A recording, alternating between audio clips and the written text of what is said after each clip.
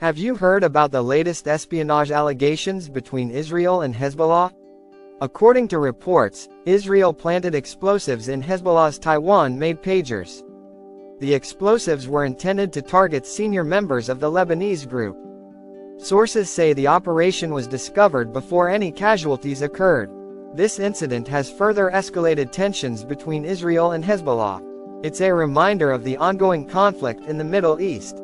Both sides have a history of engaging in covert operations against each other. The use of Taiwan-made pagers in the operation has raised eyebrows. It shows the lengths countries will go to spy on each other. Espionage plays a significant role in international affairs. It can have serious consequences if not properly managed. The revelation of this operation could impact future relations between the two parties. It also sheds light on the sophistication of modern espionage techniques. Both Israel and Hezbollah are known for their intelligence capabilities.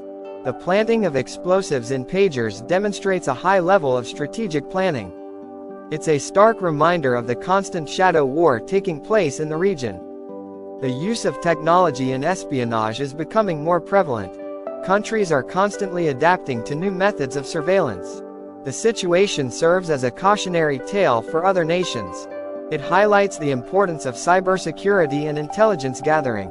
The repercussions of such actions can be far-reaching. It's a complex web of politics, espionage, and warfare.